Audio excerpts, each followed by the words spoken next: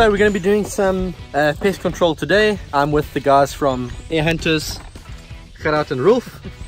We've got uh, some cool stuff today. My Impact, it's not an Impact Mark II, but it's got some of the Mark II plot parts like the new plenum, uh, new gauges, stuff like that. And um, should do the job for us. So we're going to get out and, and uh, do some shooting. Right now there's almost no wind um, I can hear the birds chirping all over the place, so I think we're in for a good day. We just got to uh, get stuff set up yeah. and have a good time. Let's go do it.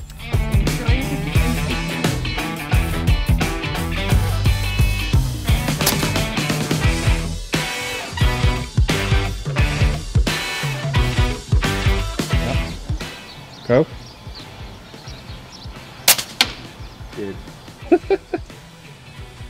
Down he goes yeah. Starling at about 50 meters. Uh, at a bit of an incline so I actually didn't even dial anything for it. Uh, looked up with a scope saw him there hiding in a hole. Loaded pulled the trigger down straight down. So it's a really good start to the morning. Uh, I think Gerard's up next so we're going to basically rotate. Um, you know one of us takes a shot the other two film and then we keep going like that. It's a good system when you've got more than one guy who wants to shoot.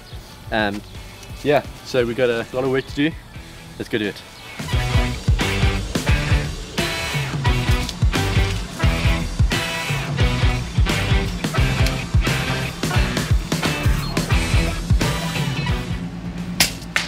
Oh. Big explosion. My first sparrow for the morning. Uh, yeah, I can't pass the opportunity on a sparrow, so that was a nice pop. So for this kind of shooting, when we're in, we're in tight quarters like this, and we have to shoot quickly, I would actually prefer uh, the gun that Gerard has with a, a 600 millimeter barrel shooting 23 grain slugs. Um, just for the simple reason it's more maneuverable.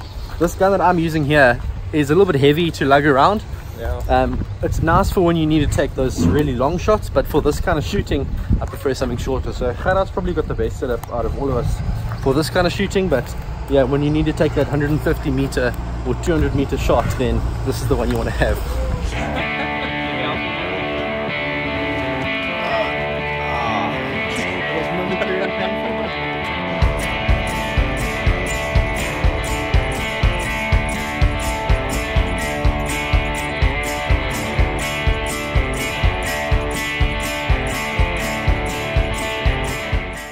So we've uh, changed tactics a little bit. Um, but walking around is tricky because uh, it takes a while to set up. You've got to either lie down, you've got to find a pole, and by that time, stuff's gone and you're out in the open so the birds can see you. So what we've done now is we've come under the roof here to a nice shady spot.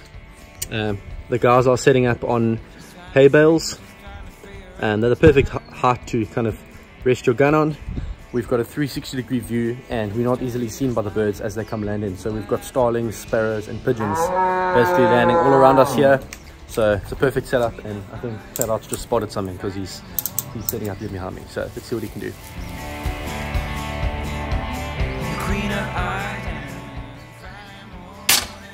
Oh, headshot. so yeah, that was a house sparrow, 106 yards, right in the head. I can just see him tipping over. It looks like it hit him to the top side there. I've got to check the footage though, but uh, that kicking and flattering like that is usually a sign it's in their head. So yeah, very happy about that one. Oh, yeah, he's dead. So starling 42 meters, pretty straightforward. Didn't have to dial anything. There is a bit of wind and it's it's been quite tricky because obviously in here it's quite sheltered. So I, all I have to really judge the wind is the mirage and Mirage doesn't tell you how strong the wind is, it just tells you um, you know which direction it's blowing. So it's a lot of guesswork, but um, yep, it's all good so far, and hopefully we can get a whole lot more. Got to shoot quickly here because they pop up very quickly, but uh, you know if you try and move through your procedures quickly, then it should be quite easy to get it done. We positioned in a spot that gives us almost a 360 degree window but it's tricky simply because the birds we're targeting are quite restless and shots have to be taken quite quickly. Gerard nails this one and I just managed to get it on camera. I think I shot that house sparrow straight up to Mars. it's completely gone. It was around 35 yards with a 23 grain slug. Yeah, I might be shooting the smaller slugs today, but I'm definitely not outnumbers. They definitely got some hitting power, eh? We're working on a rotational basis just to make sure that everyone gets equal opportunity to shoot and film, and Rolf is up next. It's funny to think back to just a few months ago when I introduced these guys to the slug setup. Rolf is now using 26 grain slugs and has taken some awesome shots. 55 meters with a nice ricochet. Yeah, we're just popping them today. Just pan to the right on the edge of the mountain. Next to the pole on the right, there's another one over there. Right, so we've got a bird at 119 meters, a little mossie starling, I mean sparrow. 119 meters. Loaded up. I'm gonna get on him here.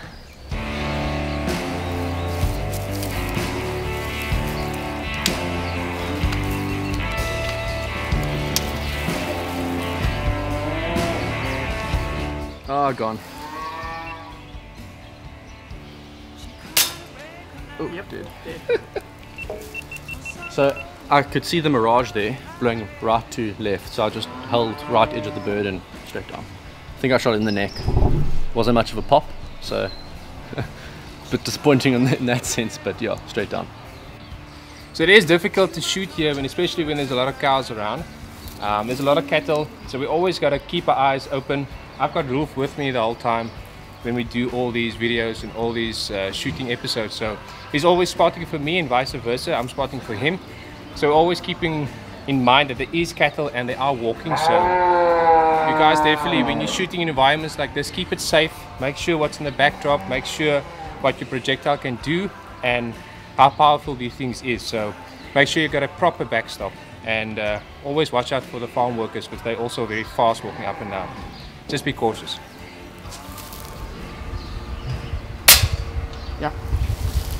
Straight down, uh, solid body shot. Can't ask anything better. That's also on 96 meters or 106 yards.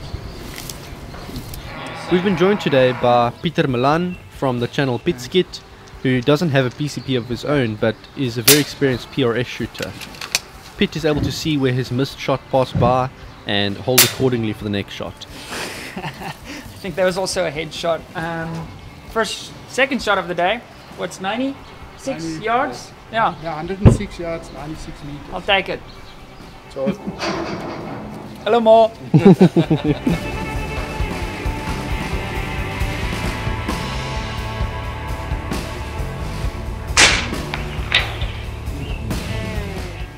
Well, I had to take a quick shot there. Um, Starling, well, I actually couldn't spot it for a while, but it was closer than I thought.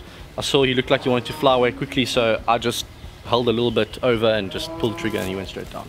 So again, I think it was high up on the body, maybe a neck or head shot, and he fell straight down. So happy with that.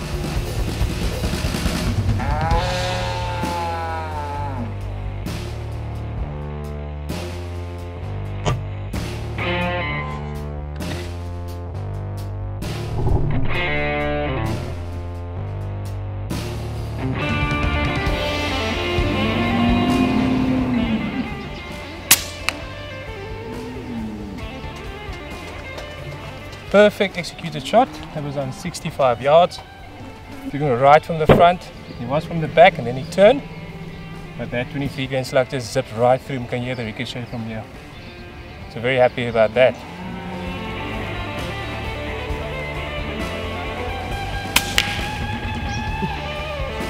look at all that feathers.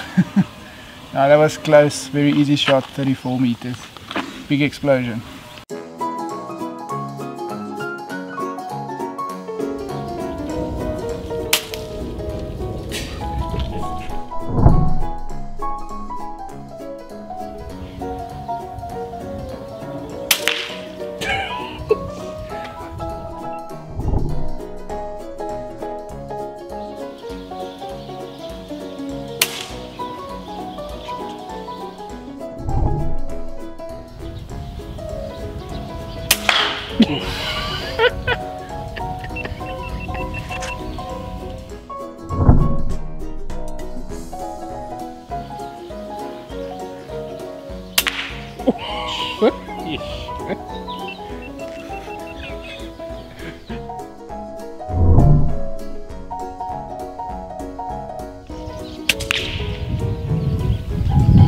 that is loud.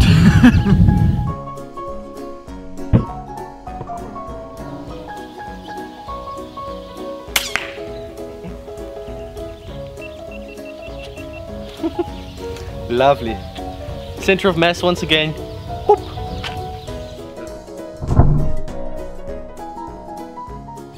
Okay, I'm recording.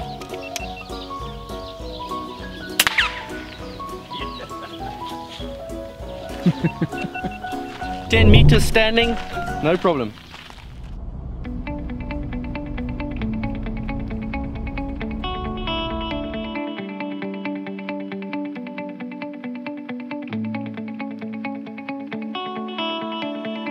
So, after a long day of hunting, we are back at our beautiful little camping site over here. We have got the fire running. You can see the beautiful lighting here around our little cottage. And we're currently bringing the guns up so we can do a bit of shooting down there in the road with that beautiful mountain as a backdrop.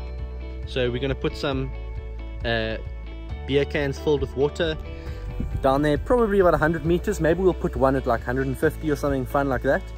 And then there's some wind now but not that much so we should be able to smash all of them quite easily.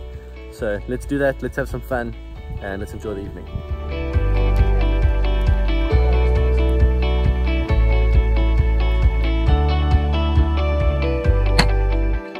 Solid. I'm to take one shot at the top of that gong 5 centimeter section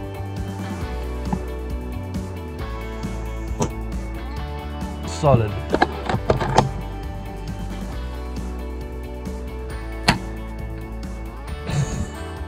Easy.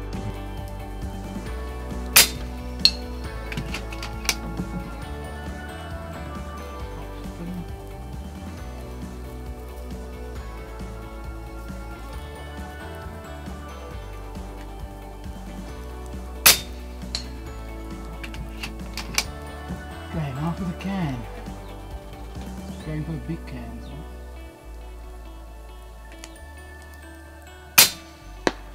Huh? Smoked him. That was a big explosion. So yeah, um, the technology in these guns with the slugs. A year ago, if you told me we could hit sparrows, which is about the size of that uh, top uh, little piece of the gong, the five centimeter gong, um, I would have laughed at you because it was just you would have been very lucky to get a, hit a sparrow with pellets on that range. Um, but as you saw now, three shots in a row with Matt, three shots in a row with me and with Gerard. Um, we're not basically not missing. Um, if we miss, it's our own fault and not the gun's fault. It's just unbelievable. Yeah, so this is my can, completely demolished. So you can see went in right there, basically where I aimed. Came out there, but the pressure because it goes in comes out in the front. So it just exploded. 23s also didn't do bad. Again, the impact of the 23s is just a little bit less than the 26s. Also went in there and exited out on that side. But still, does the job. Very accurate out to 100 meters. And uh, these guns are like laser beams, eh? They're Yeah, just there's shooting Matt, there's fantastic. yours. So it's Also- thir 30 grand. Two grand, yeah. And the Goodness me. smallest can. That's ridiculous. Completely. But you can also see, you can see the dead center. Hmm. Pretty good. And the gong Yeah, is you can see peppered. Yeah, show how big the gong, the five centimeter gong is. It's Tiny. tiny, tiny, tiny. about the size of a sparrow. As another awesome day of hunting comes to an end, we are very grateful for the sport that brought us all together and we're able to enjoy a beautiful sunset over the mountains. It was great to be back in Cape Town again, and just a reminder that if you want to see my travel vlogs from some of these places, you can watch them on my other channel. Thanks for watching, guys, and I'll see you next time.